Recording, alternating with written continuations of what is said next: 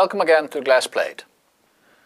The topic of the lectures we're currently doing is using microbalances to find temperature or concentration distribution inside, for instance, a rod. And we could do so provided we had a steady state,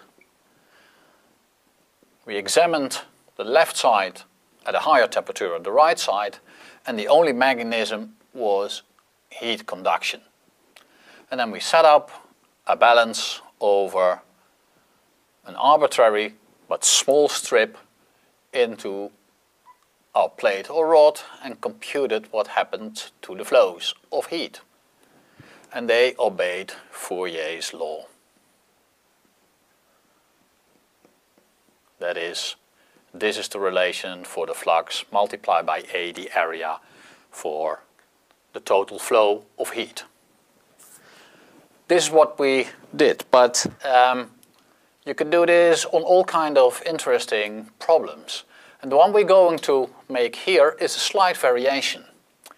I'm going to redraw the same rod of length L. Now the two temperatures on left and right are equal. I still consider a steady state with only conduction of heat, but to make this a little bit more interesting, I'm going to assume that internally there is heat production.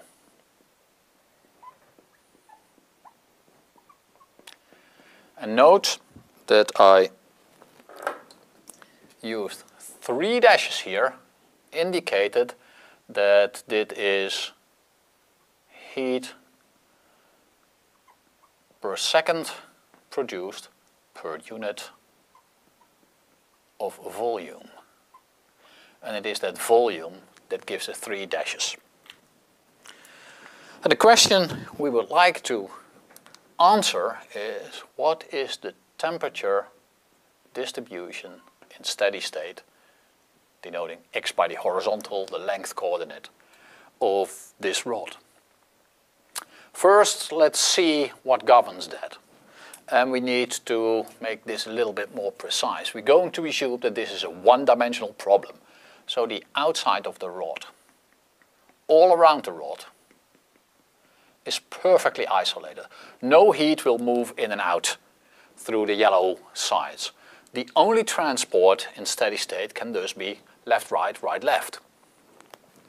All right, I know what to do. I need to set up my balance and that is a steady state. So this start with zero is what flows in my control volume minus what goes out plus the production. All right, I'm going to sketch one. Again, use a different color. This is my control volume at x and x plus dx because I need to find the temperature distribution as a function of position. Thus I need an arbitrary small control volume. Stuff is flowing in and flowing out. So I can detail that a little bit more, just like we did in the lecture. This equals a flow in at position x, a flow out on the other side at x plus dx. But now, different from what we did in the lectures, the production is no longer zero. This production is the amount of heat produced per second per unit of volume times the volume in which that takes place, which is our control volume. So that needs to be a P in this.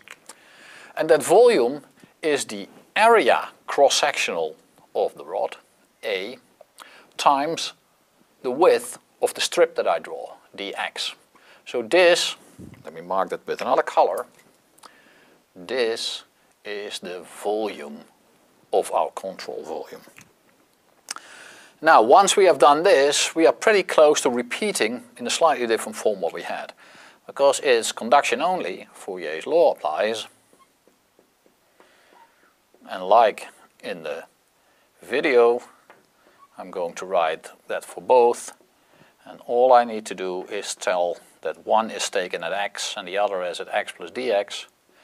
These are the fluxes multiplied by the area and you get the total flows in and out. Okay, take a good look. We can scratch out A. It's the same in all terms, and as this is a flat geometry, A doesn't depend on the position, so A is out. What I cannot take out is lambda, because this term doesn't contain lambda. But I can divide. So I can make first easier step, this minus and this minus together make a plus, and I'm going to put that up front and I divide by lambda.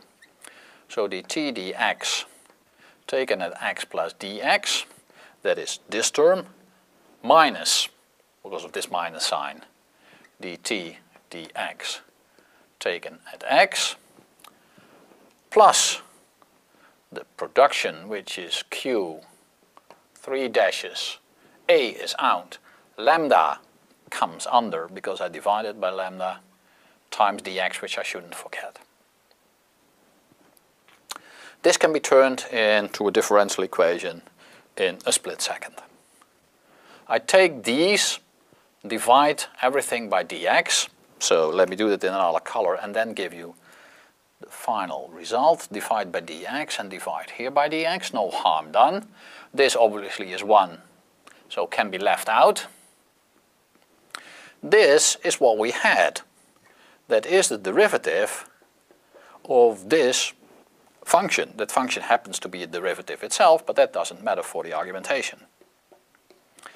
Okay, I can now make this into a single equation. Thus what I have is the d dx of dt dx. This term is moved to the other side, becomes negative, is minus q triple dash over lambda. Here is our new equation that governs the temperature that we need to know, the temperature distribution to be more exact. This looks pretty much like we had in, uh, in, in the video lecture, except that here was a zero because there was no production. And what you see, you can easily recognize there's no production. This can be solved along the same lines. So first integrate, only once. That leaves on the left side the TDX and on the right side you get minus q triple over lambda times x because I integrate plus an integration constant. This can be easily integrated again to give me t of x. Integrating x gives you an additional half and x squared. c1 integrating gives you c1 times x. Shouldn't forget c2, another integration constant. Again, pretty much like we had in the previous uh, movie, but this term was absent because the q was a zero and we had that straight line. Now you see it's a parabola. Two integration constants, like we had, I could have seen that coming here. I need to integrate twice, so two integration constants.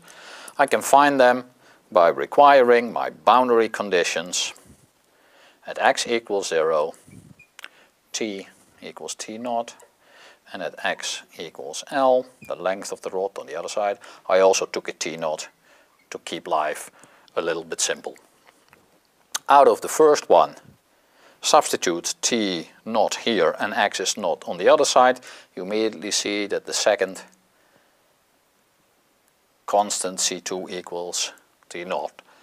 Put this one in and you find t naught is also equal to minus a half q lambda L squared plus C1 times L plus C2, but I'm going to write that immediately as T naught because I know it is.